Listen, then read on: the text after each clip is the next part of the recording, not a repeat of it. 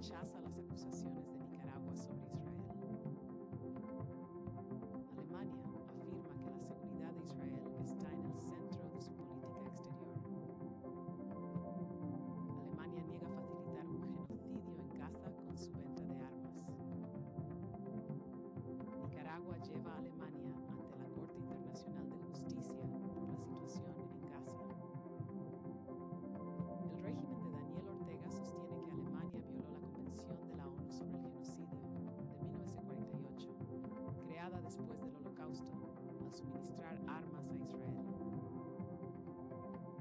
Estados Unidos condena irrupción de Ecuador en Embajada de México tras críticas de AMLO.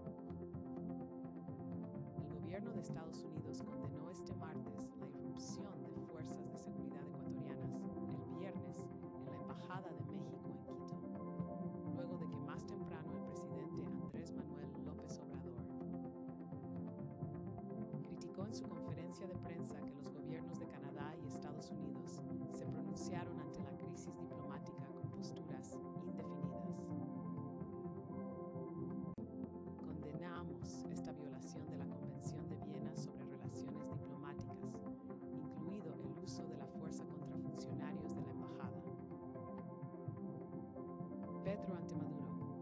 paz política de Venezuela puede ser la paz armada en Colombia.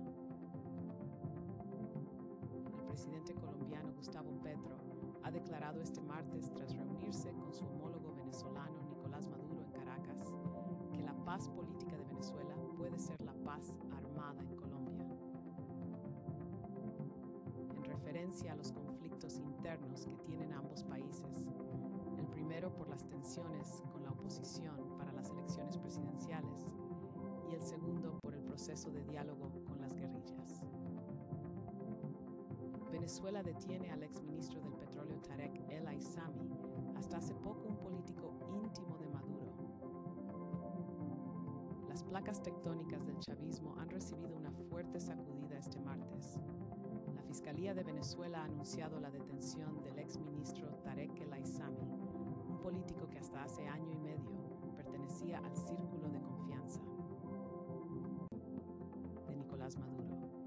El Aissami estaba en un limbo legal desde que se destapara una megatrama de corrupción que afectaba a PDVSA, la petrolera estatal que él manejaba como ministro.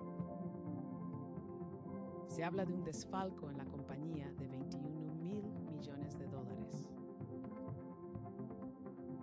Junto a su detención, el fiscal general Tarek William Saab anunció también la captura de otro exministro, Simón Serpa, también madurista en su día, y del empresario Samark López, a quien se le ha señalado como testaferro del Aizami.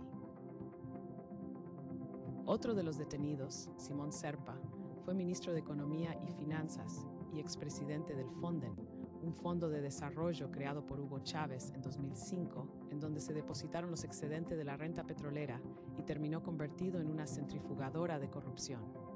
Samark López, al igual que el Aizami, es parte del entorno del chavismo que desde 2017 tiene sanciones de la OFAC de Estados Unidos por presuntos delitos de lavado de capitales. Manténgase informado con nuestras actualizaciones. Estás viendo Robinson Paulo Ciudadano contra Político.